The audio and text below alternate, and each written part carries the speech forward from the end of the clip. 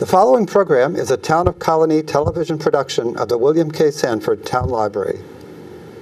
It goes all my life's a circle, sunrise and sundown. The moon rolls through the nighttime till the daybreak comes around. And all my life's a circle, I can't tell you why.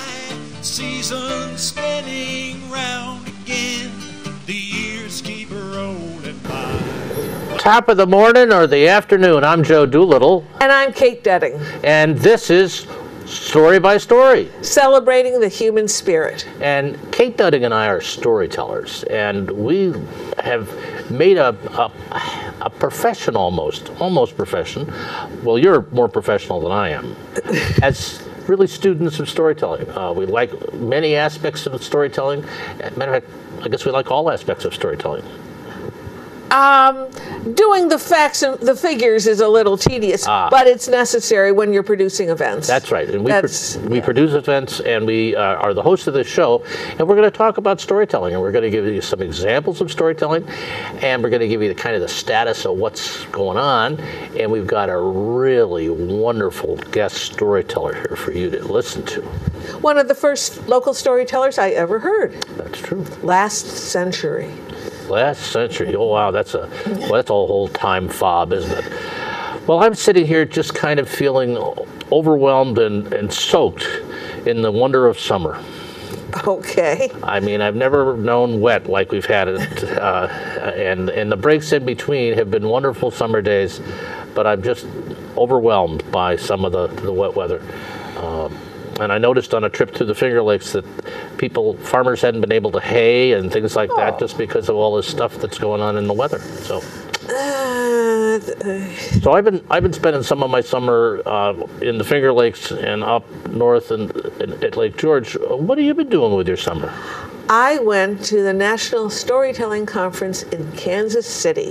There is a national storytelling conference. Uh, Yes, and there's a National Storytelling Organization, the National And uh, Storytelling Network.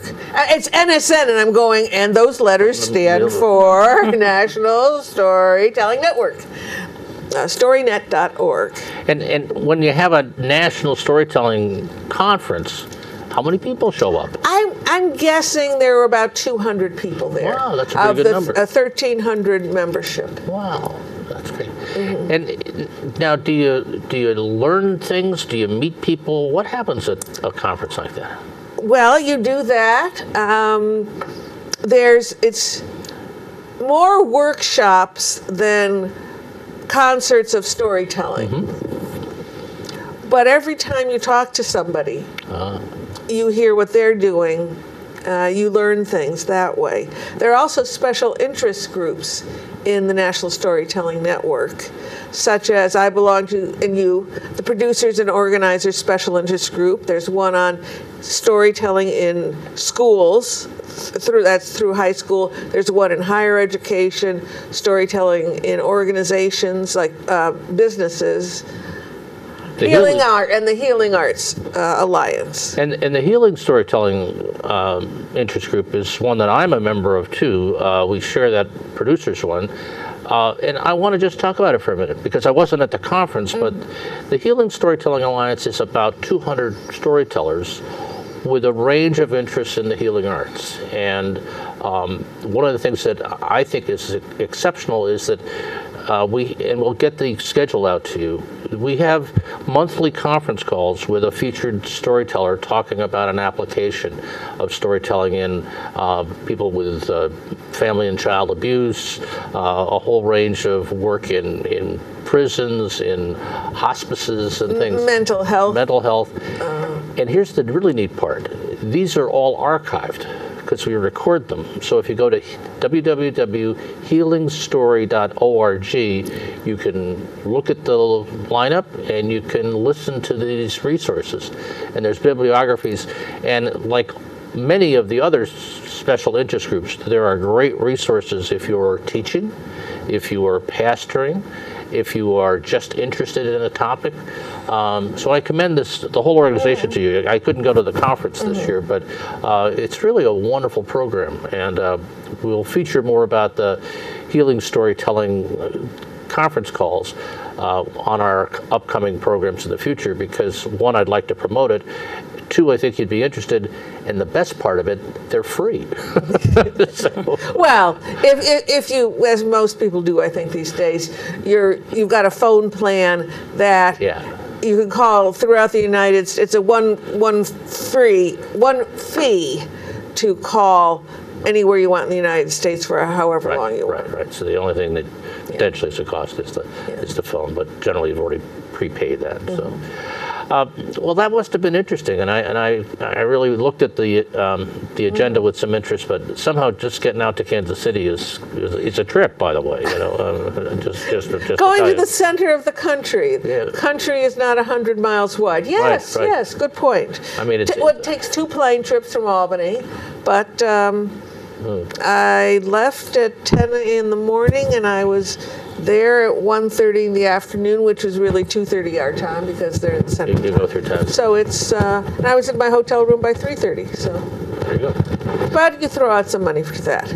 But I, it, the, the, the theme of the conference was on immigration and migration. And so we heard a lot of stories about immigrants, uh, some told by themselves. Uh, the, the Healing Storytelling Alliance had a pre conference, a full day pre conference. And then they ended that day with a uh, concert. The first teller was a fellow who said, I grew up in Guatemala. My family made dolls. They're, they're like, like folk art, kind of little dolls, not like Oh, all American Girl dolls, Not, no. no, no. And it's a tradition that that children in Guatemala s- sleep with them under their pillows because they will listen to the bad dreams and, and, and help with them. Oh, So the family, but they're, it's a limited market within Guatemala for these dolls. But when the tourists came, Oh. coming, it was, that's how their family lived. what a story for the tourists, oh, wow. Yes. However, when civil war came in Guatemala, there were no tourists. Their family had no income. They had to leave or starve to death. And so they came to the United States as undocumented immigrants. Ah. So it's, I don't think, and then somebody else said, you have to remember that immigrants are very brave. They are coming to a place where they have to learn everything all over again. Usually a language, sometimes even an alphabet. Right. and and everything um, you know things like food. I didn't know this till i did research on julia child but the gluten content in flour differs by region. And so she had a hard time figuring out the recipe for french bread because the gluten content in f- flour in france is different than the gluten content in the Things united you never States. knew.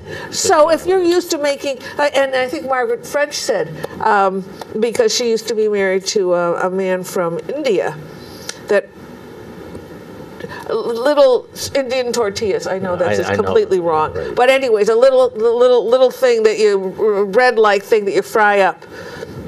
The flour here isn't the same as in India, so you, you what you, what you really crave for, you can't even make. Yeah. So, you know, immigrants are brave. Um, they've probably come. You know, you don't you don't leave your home country for a trivial matter, No, you don't. and and and you leave a lot behind. And then one fellow said, he was working with Sue O'Halloran in, in Chicago. She has been working for many years on a play on a to bring, bridge races together. And she has a website, racebridges. dot It's either org or dot com. But race bridges. you know, R A C E, Bridges. Bridges, no hyphens or anything. Just Google that, you'll find it. Uh, and she talked to a fellow who was from Vietnam. He, uh, the boat he was on to escape Vietnam sank. Luckily, a, a gas container came by. He clung to that for two days. Was rescued by Cambodian fishermen who, who were not supposed to. Were, it was against the law to do that, but he they rescued him, and he got into a, a refugee camp in Cambodia. And he made friends with a, a young man called Tom, who had been in the camp for seven Ooh. years. And they were friends, but one day, this young man found Tom and he had hung himself from Ooh. a tree. He just he just couldn't take it anymore. Couldn't take it anymore. Oof. And he told Sue that, you know, this is the first time I've told anyone that story about Tom. And later he told it in, in a gathering, a public uh, storytelling event. And afterwards he told Sue, you know, I, I, I now feel that I'm home. People have listened to my story, where I'm from, and, and now I feel that I'm finally I'm home here. As you were talking, I'm reminded of a line from a book by Barry Lopez called Crow and Weasel, which is about two Indians, braves, and uh, they meet a character who makes the line Sometimes people need story more than food. Our stories care for us. Mm-hmm. And in a way, as terrible as that story was, the expression of the story actually is a carrying event in the mm-hmm. lives of the teller and also, I think, in the lives of the listener. Mm-hmm. Um, so that that's a remarkable. Now, the web. And, and just one, one more one more little thing is an, another speaker said she was doing work in a in a school in Michigan, and a third grader who was an immigrant said, "I don't even know what to be afraid of here." Don't. So I guess he was afraid of everything. Wow.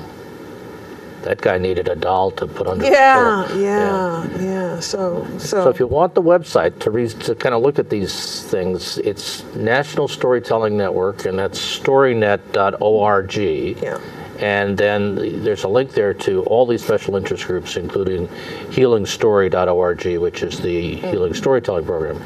And and I encourage you to, to, to go visit because uh, there's a great wealth of information there, and you can find stories and links that may care for you. Mm-hmm. Speaking of caring for us, mm-hmm. you know that one of the people that I've cared a lot about in storytelling is Mary Murphy. I think she was one of the first people I heard tell a story to, um, and it was about a wide-mouthed frog, and I was so impressed that she could get her mouth to be that big. Um, she did such a great wide mouth frog, um, and she's captivated me ever since. But I, I think the first story that I heard was about Olivia and her Barbie dolls. Oh, that and was good too. The bridal doll your mother gave you. Oh, so dolls kind of are a feature oh, today. Oh, oh, I guess so. And we'd like to introduce you to this doll of a storyteller, Mary Murphy, direct from you, not from Kansas City, all the way from Albany, New York. yes. Mary, welcome, welcome. Thank you. Thank you so much. I'm so glad to be on this show. Well, we're Really cer- looking forward to it. certainly pleased to have you. And as I was talking all about you, I realized that I, I, I just can't remember a pivotal bit of information, and that's how you actually started as a storyteller. Well, one thing that I'm interested in is that, uh, and we can certainly talk about this Oh, okay. later, but but I know that you mentioned the wide-mouthed frog. Yes, I did. I in And my- you mentioned New Friends, New Friends. which is a story that I wrote about uh, and is told to adults. Ah. Uh, but the Wide-Mouthed Frog is a story that I started with. I mean, that is my very first story. And, and before I tell you how I got into storytelling, I will just say that Segue to the wide mouth frog. Yes, okay. there was this woman named Louise Kessel. I have no idea where she is now, but I believe she was from North Carolina. And she came up to uh, Colonie Center one day, and she was in Macy's, like she was smack dab in the middle of Macy's, and she had little chairs surrounding her, and she had a microphone in her own chair, and there were kids and there were parents, not a lot, but I heard her tell this story, the wide-mouthed frog. And as soon as I heard it, I said, I know that story. I mean, I had never heard it before, but it just came into me.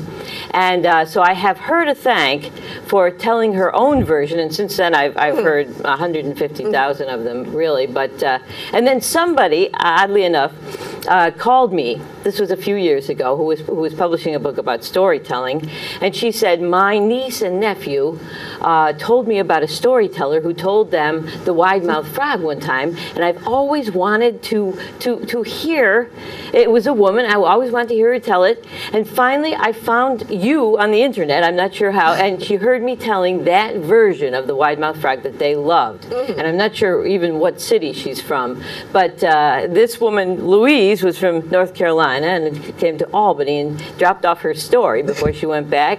And then I, in turn, infect, infected somebody or affected, affected someone. Affected, infected, it's a very small Yes. change of words, Right. change of letters. in, in, in some other part of the country. And I, it just goes to show you how storytelling can, uh, can the stories change with each teller, mm-hmm. but they're passed on and mm-hmm. they grow and they grow, and it's, it's a very organic and, thing. and, and people from different backgrounds respond to them and Yes. they remember stories lectures usually not so much, Not so much. stories I always think of you. like the priest in, in, in church, and and uh, he gets up to give a sermon, you know, and everybody's thinking about, you know, when I get out, what am I going to make for dinner? What am I going to do afterwards? Are we going to go sailing? I think she's wearing a new outfit i wonder where she got that yeah, right. right. And then all of a sudden, he'll say, and when I was a boy, my mother and I did this.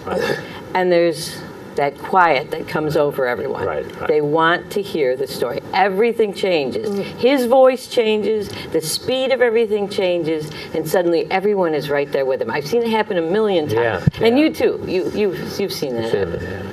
Well, I, and when I chaplain over at Albany Med as a volunteer, I have uh, breakfast often with a Father Bob Leone, who's one of the chaplains at Albany Med, and he actually passes his homilies around the hospital in an email because people aren't want his message, but what they want is that embedded story that he's built into his homily, and and he'll say people will walk around they won't remember anything of the real message, but they'll remember the story. But Right, but if you right. remember the story, the, And the in that way. message Right, right. in the, In the story, story. right. It- you know, I, I was taught you don't end, and the moral of this story is for for a couple of reasons. One, I, I, well, I think it, you're, you're speaking down to your Right, audience. right. Two, um, really, people hear their own hear what they ha- what they need to hear, and they come up with their own message in the story. And um, hmm, maybe that's it. But but it's it's it's oh it's limiting. And if you say this is the moral, people go oh I thought it was that. I guess I was wrong. And it was like no no no no yours is yours is better than than than Aesop.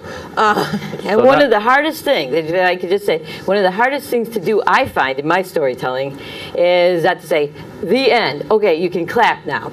And- but to give that audience a chance to, yes, digest, Settle, yeah, settle, reflect, yeah, yeah. think of the story, take it in, and do what they want with it. Right. And that's a very hard. I try to get my students when You, you said one remarkable thing. You know, you said that I knew that story as you were Yeah. you were you were integrating it into yourself as you listened to it. Right. And and and that's a special relationship between the teller and you because that mm-hmm. doesn't happen very often. no.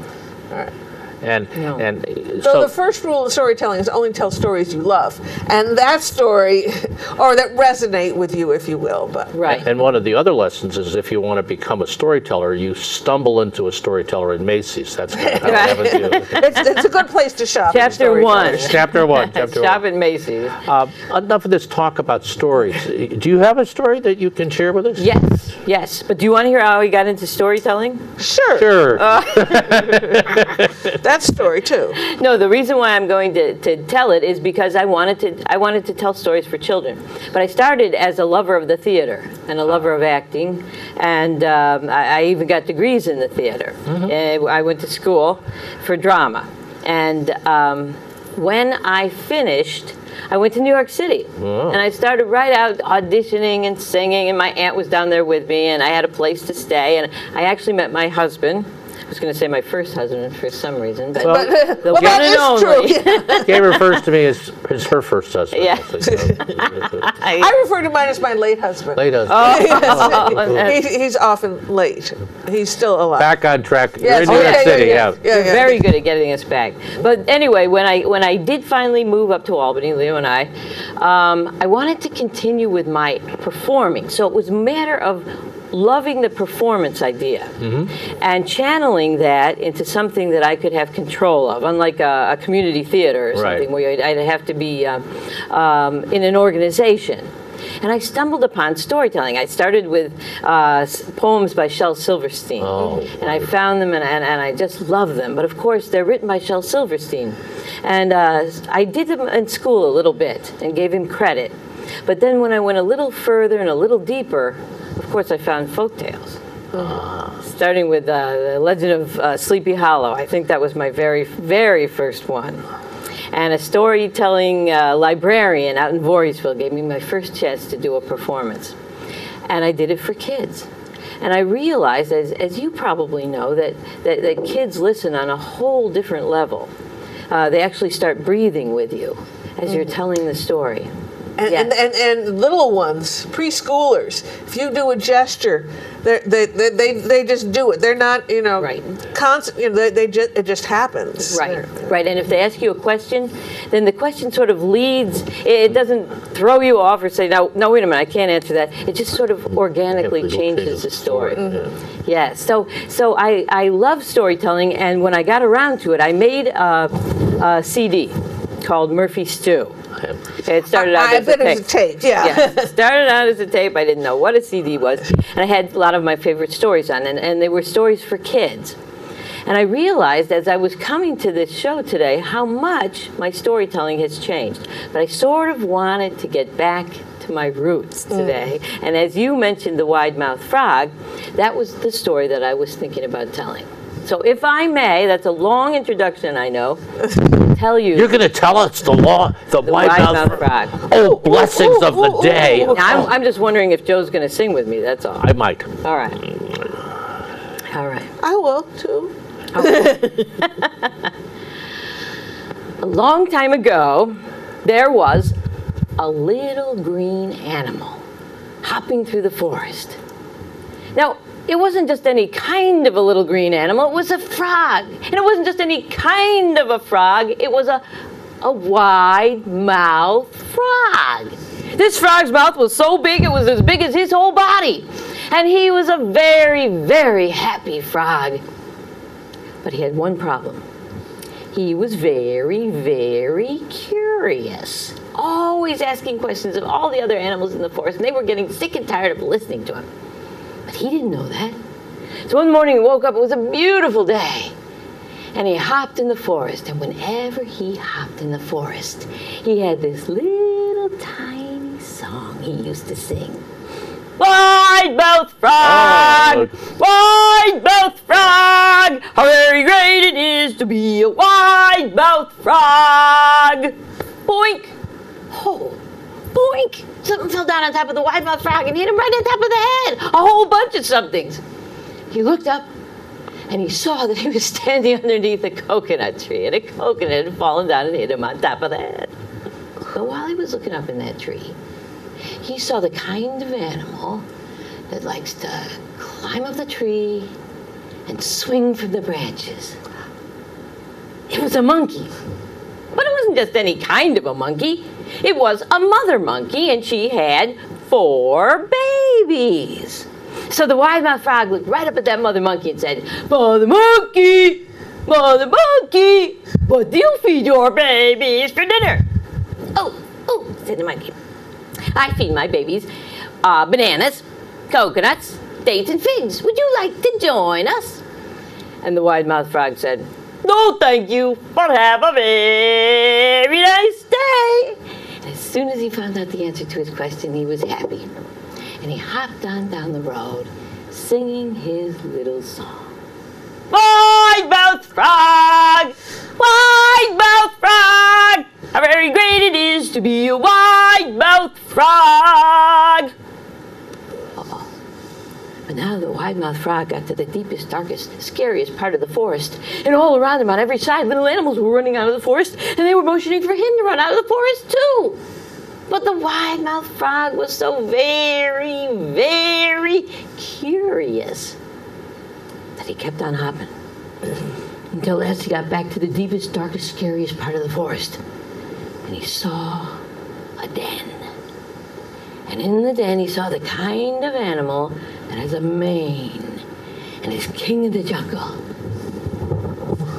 It was a lion. But it wasn't just any kind of a lion. It was a mother lion, and she had four babies. So the wide-mouthed frog hopped right up to that mother lion and said, Mother lion, mother lion, what do you feed your babies for dinner? Mother lion said, Roar. I feed my baby squirrels and raccoons and other little animals in the forest. Would you like to join us? The wide-mouthed frog said, No, thank you, but have a very nice day. He started hopping kind of fast out of that deep, dark part of the forest. When he got outside, though, and felt the warm sun pouring down on him, and he, he realized he was safe, he started singing his little song. You can sing that little song with me. All you have to do is make your mouth as big as you possibly can and widen up your eyes as wide as they possibly can and sing along.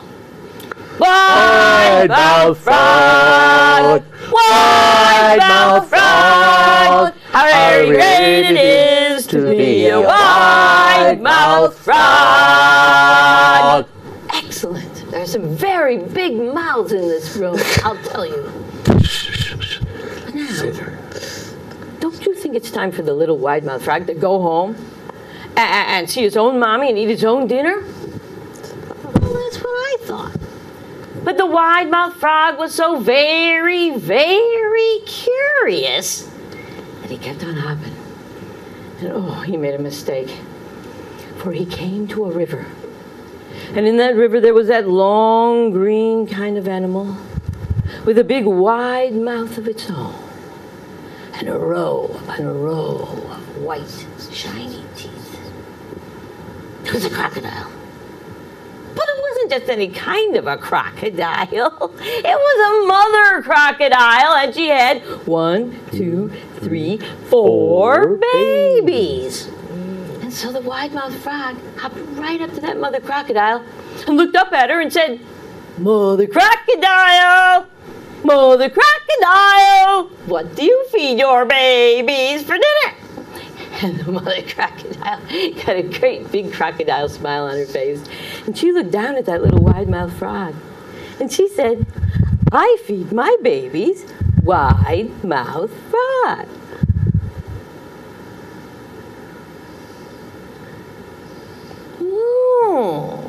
Said the wide-mouthed frog. Said he made his mouth as small as he possibly could make it. I didn't know that. And the wide-mouthed frog looked up, and as he was looking up, the mother crocodile bent down, and she said, "Would you like to join us?" And the wide-mouthed frog said, "No, thank you, but have a very nice day." And he started hopping backwards away from that river as fast as his little green legs would carry him. He was so scared that he decided to sing his song to keep his courage up, but he couldn't sing it like he usually did. He had to sing it like this: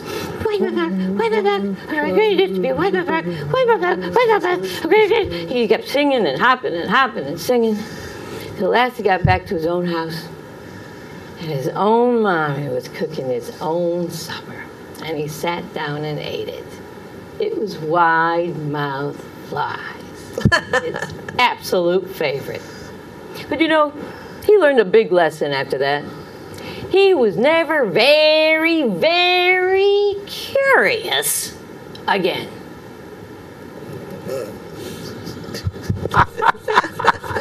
Thank you. You're welcome. Better than I remembered it. Oh, it takes me back to my roots. Oh man. love it. I love it. And how it- kids would jump in and say what the animal was and, and sing the song and everything.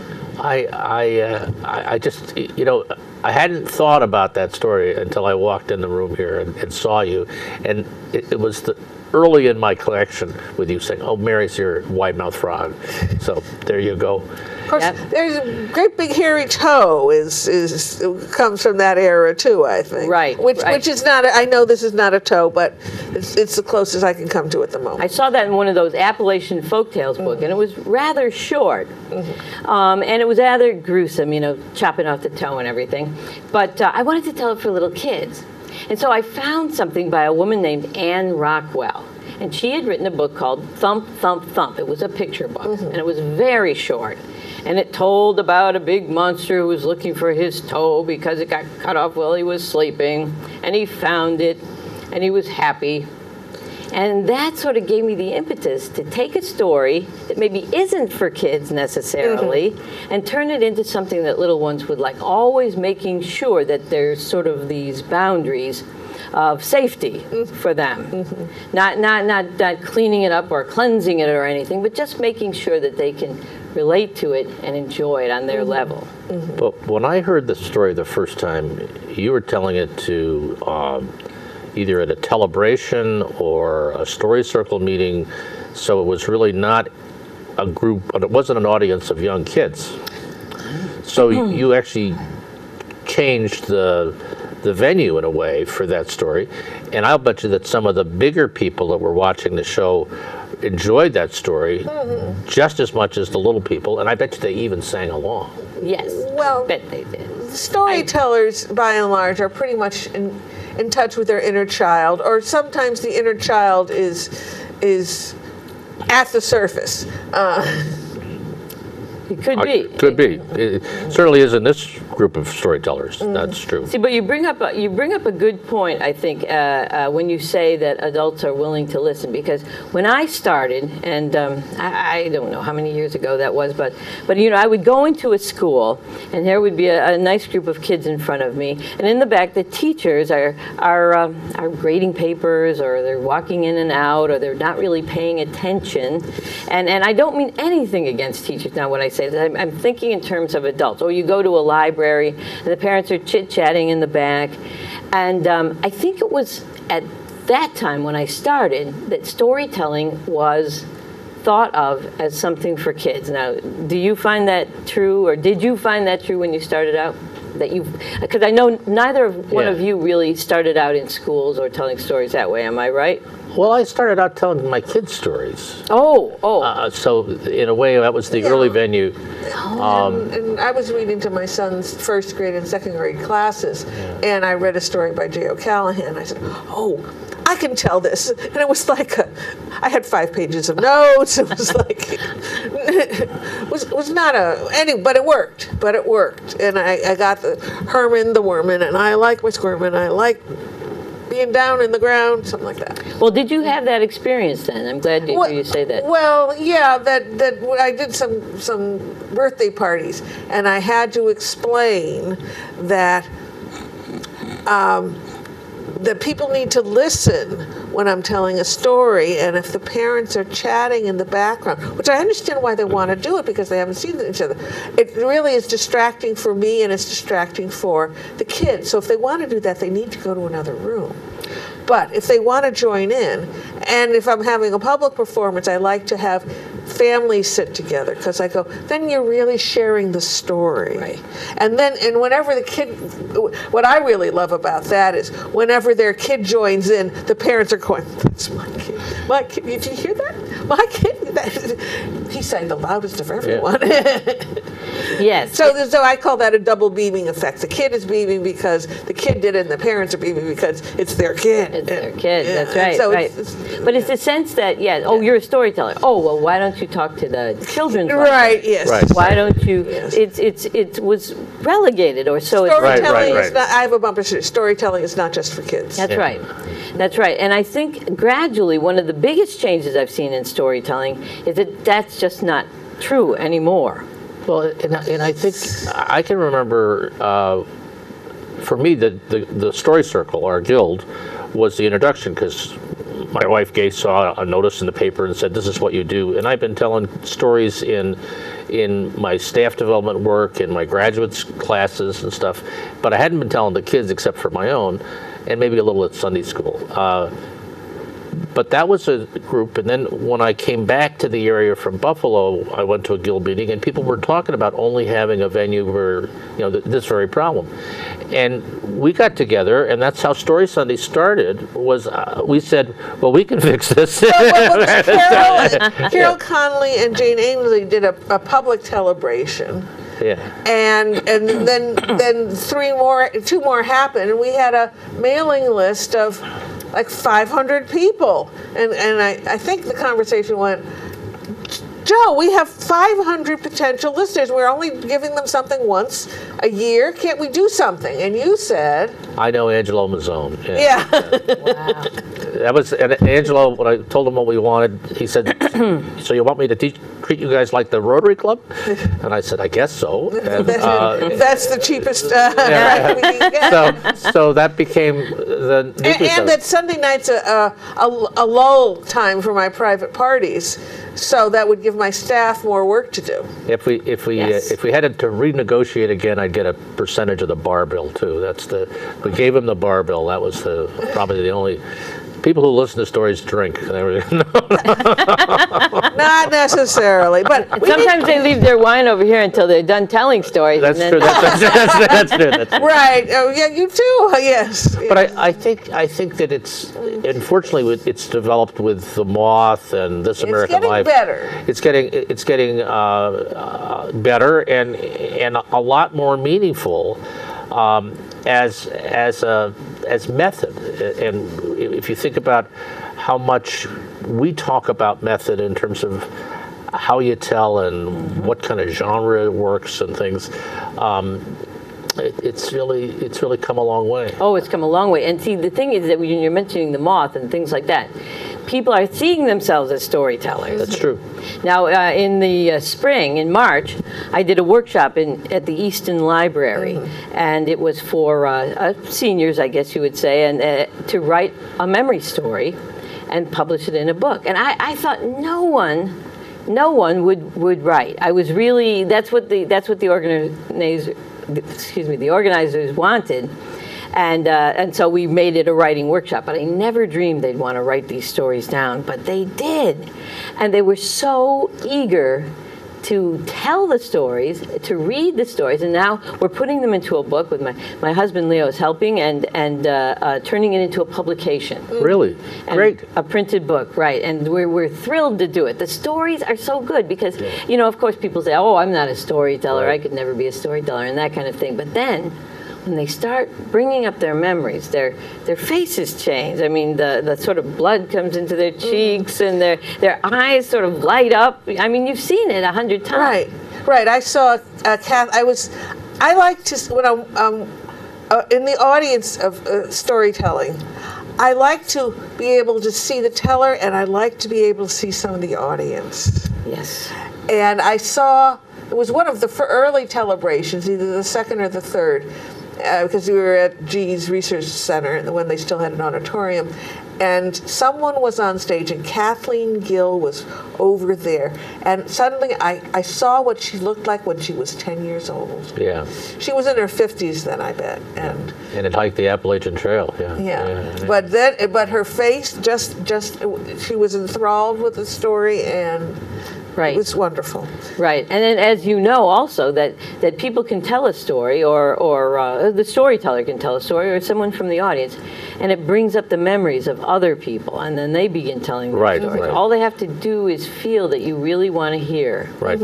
And sometimes they might be uh, intimidated by a performance or something like that. But really, when you when you can put the performance aside and hear the tale, the story, The it's just wonderful. Yeah. yeah, I, I sometimes think about that as the generative power of story.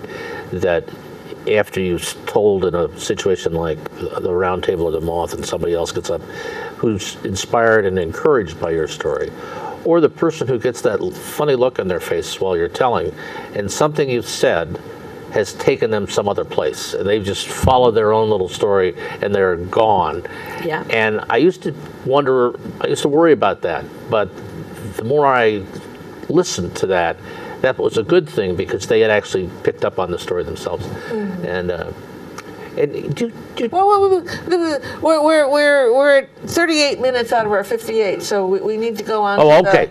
The, We got to do a uh, commercial break about oh, storytelling. Yes. Uh, coming attractions, there aren't a lot, so we'll get back to Mary. Don't go away. Um, a number of our monthly events are on summer break. First Tuesdays, Tales and Stuff.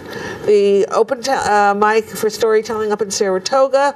Shawnee Evenings at the Irish American Heritage Museum and the Interfaith Story Circle program are all on summer break, but they will be back in September. Remember. And unfortunately, Janet Carter has is moving south to the still in the Hudson Valley, so not going too far. But she will no longer be living in Sau- Saugerties, so that her series at the Inquiring Minds bookstore in Saugerties is over. It's over. But the, the next Story Circle meeting will be on Wednesday, August 16th at the Pine Hills branch of the Albany Public Library. At 6:15 we have some sort of learning session. Uh, somebody must get working on that. Yep. It's usually a roundtable discussion and um, then at 7 to 9, we have sharing of stories under development. Uh, only telling, no reading, please. Listeners are welcomed. And if you're telling a story, you can say, I just wanted to tell it to people. Thank you very much. Or you can hear the, the nice things. What do we call them? Uh, uh, Affirmation. affirmations and then or you can ask you know if anybody had had a problem or they have suggestions or we i was I, w- I wanted to make sure people knew who was talking when the mother and the daughter were talking was that clear you know whatever the teller is in charge so and we're, we're very kind we don't go you know that's the worst story ever. have you ever heard a story Well, worse than that done. And No, you know the no, the, no, no, the nicest thing for us as as kind of longer term storytellers is when a new storyteller shows up and wants to try something out, Mm-hmm. and that's always refreshing and it's fun. And so if you're out there, we encourage you to show up at one of the story circle meetings and tell a story. Mm-hmm. But a really fabulous series that does happen in the summer is at Schoharie Crossing in Fort Hunter, New York, just beyond Amsterdam. The Not Just for Kids storytelling has been going on. This is its 26th season. It's free Sunday nights, rain or shine and starting at 6 p.m. And we have fabulous tellers. Well, we Well, it's really a, it's a member of the guild that's hosting right, that. right. it, Um, yeah. But um, other than telling people about it, I really have nothing to do with it. Occasionally, I'm a teller, not this year. Uh, but it, since this is our August program, uh, if, if you're seeing this early in August, Elizabeth Ellis is one of my mentors, a fabulous storyteller from Dallas. She, uh, but she grew up in Appalachia, and so. Um, she's a, she's uh, she's in the circle. She's not only in the circle of excellence of the National Storytelling Network, but she's in the Lifetime Achievement, Award, yep. uh, group. So, then Peter Cook is on the 13th. He's a deaf teller, so he signs and he has a companion who speaks. But he, he but isn't just about speech; it's body and face, and movement. Then Michael Reno Harrell, uh, who is another out of towner, is coming in. Then Joe Bruchac will be on the 27th, even though he's local from Greenfield Center. He's he's internationally known. And then Becky Holder on September 10th will be ending it. She was one of the founders of Story Circle Right. and a fabulous storyteller. And then just to give you a little preview of events coming, series coming back to life in September. First Tuesdays, Tales and Stuff, which Joe organizes at Arthur's Market in the Stockade in Schenectady. We'll have Dan Testo on September 5th. That's the day after Labor Day. Day after Labor Day, first Tuesday, and, and Dan Testo is a member of the Guild who's not been all that active except for what he's done in his teaching roles, and he's retired. And I crossed trail with him at Jumping Jacks in Scotia, and I said, "You Fine should tell, you should tell." So come out on that first Monday or first Tuesday after Labor Day, and uh, Dan will have about 25 minutes of stories, and there's an opportunity for anybody to perform. So. And then the 125th Story Sunday will be with October 1st, featuring Mary Murphy and Barbara Chapitis at the Glen Sanders Mansion, 5 to 8. Three choices of three different entrees. Sarah, title yet? There's no title Not yet, but it title will but- involve ghost stories. Ghost stories. Ooh. Ooh. Scary Thank you stuff. for saying ooh, yes. Barbara used to be one of the snickering witches. She's she's got ghost Snickering. stories. Sniggering. No, snickering. Snickering, not Snickering. sniggering. Okay. And then just some save the dates. Story Sunday will be happening five times this season. It's 19th season, 19 years. My goodness. Longer than some marriages. We are married, not to each other. uh, but two in October, January, February, and April. Then we also have a season at Proctor's, 2 o'clock on Sunday afternoons, called Word Plays, with these five topics. And our celebration will be on November 12th Stories about challenges. Challenges. And then there's also a spin off of Word Plays, Word Plays at the Cabaret in Fort Salem, well, in Salem, New York, at the Fort Salem Theater. And we're at our fourth season there. And if you can't get out, or if TV is driving you crazy because nothing is new or worth watching, come to our YouTube channel, storycircle.org. Click on YouTube, and over 200 stories, mostly from this TV show, are available on demand, as they say. And that's quite a lineup for us taking the summer off, don't you know? Yes. There you go. Yes. So now we have uh, 12 minutes left. All right. What, got a will, what minutes? should we talk? You got a you have a you have a ten minute story. No, I don't have a 10 minute story, but I'd much rather talk to you. But I will tell a story. Okay. Okay. This is another throwback story. And I Is this like a fish that you throw it back because you don't want to keep it, or No, what? it's like you jump in after Oh, it. I okay. think. And It's called the split dog. I had me a little dog once. Was the best rabbit hunting dog you ever saw. Well, he was running after a rabbit one day, and some fool had left a scythe lying in the grass with the blade pointed straight up. Well, my little dog was running so hard and so fast that he didn't see it. He ran smack into it, and it split him open from the tip of his nose right straight on down his tail. Lucky thing I saw it happen. And I ran over my little doggy and I said, oh no. But I, but, but, but I scooped up half of my dog in one hand and, and I, I scooped up the other half of my dog in the other hand and I slapped him back together again. And then I took off my coat and I wrapped him up in that right quick. I could see he was still breathing and I didn't want to lose this little doggy of mine, so I, I went home and put him in a box. And I put him near the stove at night so he'd be warm. And during the day, I brought him outside and let the warm sunshine pour down on him. I was really worried, but but I did this for three weeks, every night and every day, until I finally got up my nerve to look in that box and see if he was all right. Well, well, I went over and I, looked in, and I saw him start to wiggle a little bit. So I said, "Oh, Mary, you're on the right track. You're on the right track." I kept him bandaged for another three weeks just to be on the safe side. And then one day I was walking along that box. What do you think I heard? Woof. Woof, Woof. he barked. Oh, my land, I cried. I took him out of the box. I brought him outside. I started unwrapping him, and in a few minutes, out he jumped. Surprise ever. But, don't you know, in my excitement, I did a terrible thing to that little dog of mine. You don't want to put him back together? I put him together wrong way, too. He had two legs sticking up in the air and two legs down on the ground. Half of his head was pointing north, and the other half of his head was pointing south.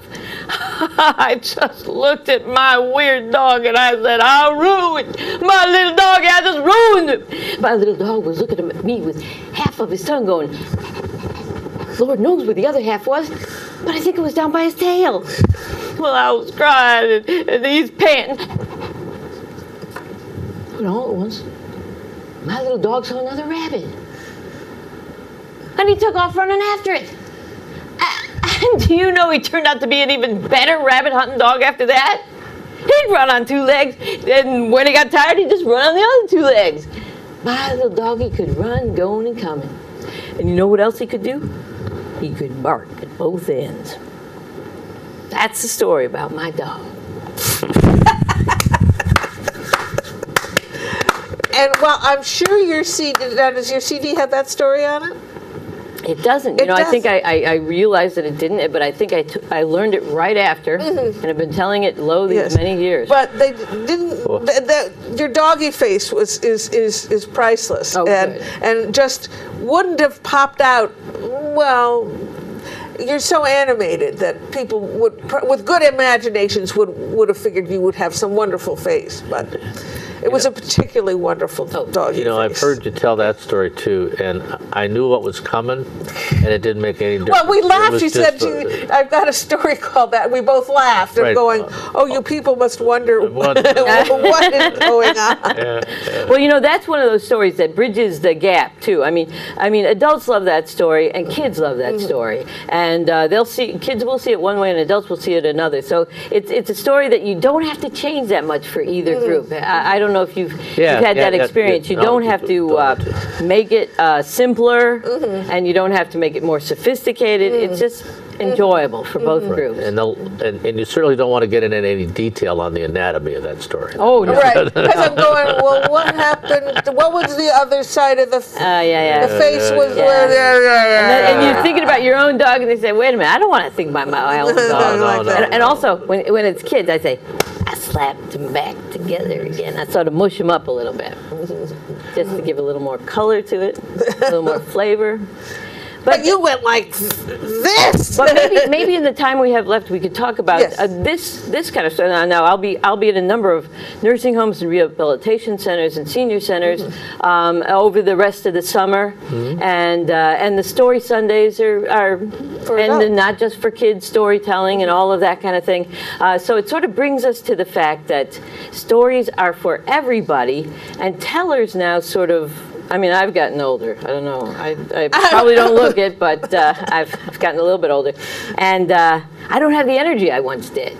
I don't have the energy to go into a school and have all these kids in front of me and, and keep them spellbound. And, and when you talk all these kids, you're talking an assembly Oh, of three, four. 500. Yeah, yeah, yeah. Oh, easily. Yes, Yeah. yes. With a microphone, and that's all you've got between you and, And them, yeah. and those kids. right, right. So I, I enjoy telling the stories where I can sit still, and I sort of had to learn a new way of storytelling. I can certainly have still the energy in my own face, my own way of telling, but now I sort of take it in more and tell it and watch their um, watch their mannerisms and watch how they're giving me back so much. It's a quieter storytelling, but nonetheless, it's it's it's a very rewarding kind of storytelling. And of course, we talked about the fact that people then tell you their own stories. Yes. Or and, and you know, just when people are having a conversation, they go, "That reminds me of when Right. Right, You know. right, and that's you dropped the carton of eggs. I dropped. Uh, oh, my son dropped a gallon of bubble fluid. I had made it up Well, the, right by the stairs. You know. I'm, re- I'm reminded of uh, of one other event, and, and this is a little bit of a plug for the Story Circle meetings. The warm up for the meeting, the centering process of each of us telling a short story or vignette about what the most interesting thing that happened or whatever, and the, the facilitator has to come up with that question. And, and that is actually wonderful drill for creating a story because you mm-hmm. don't know what's coming. You you you're spontaneous or more spontaneous than you might be in another setting. And everybody's on an equal footing so that the newbie you know was telling the same story as the old pro and and you get everybody into a, a mix of stuff mm-hmm. and that mix actually sets the theme of the mm-hmm. meeting i remember when lois um, Hodges. Hodges used to do little reflections on our meetings. She would often go back and said the theme was, and the theme would be whatever that question had been mm-hmm. in terms of the response. So my, my point is, I think that yes, adults kind of get generative with stories, and often it doesn't take much more than a little bit of a question. No, or, if you're in a writing workshop, which I've been in several recently, where they'll give you that free write time. And, and uh, one one uh, time I was there, and the the leader of the workshop, he said that it's uh, the theme tonight or uh, for this question is crushes that you had. And I didn't know, and I'm writing. He said, just write. Put pencil to paper and start writing. And all of a sudden, this crush came into my oh. head. This time when I was a little kid, and I fell in love with Ray Bolger, who was uh, in The Wizard of Oz. And, and I wrote about that. And it became a story for me. Yeah. It, it was just wonderful. I, I never entered the room with that. Mm. I had no, I was despairing when I started out. But if you give yourself a chance, there's a mm-hmm. story in these things. I, I, I wasn't thrilled with the idea of story slams, which is a storytelling competition, but I've participated in some at the New England Storytelling Conference and at the National Conference, and they give you about a month's warning of what the topic is.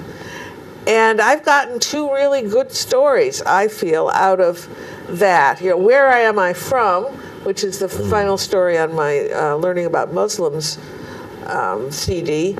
And then also on that CD is the story about children at the well, which was prompted by many stories, uh, w- many people, oh, many worlds, Many w- World worlds, many stories. it's, I can't remember. uh, one heart. I don't know something at the National Storytelling Conference. But you won the competition that That were exactly. Thank you very much. 2010, Los Angeles.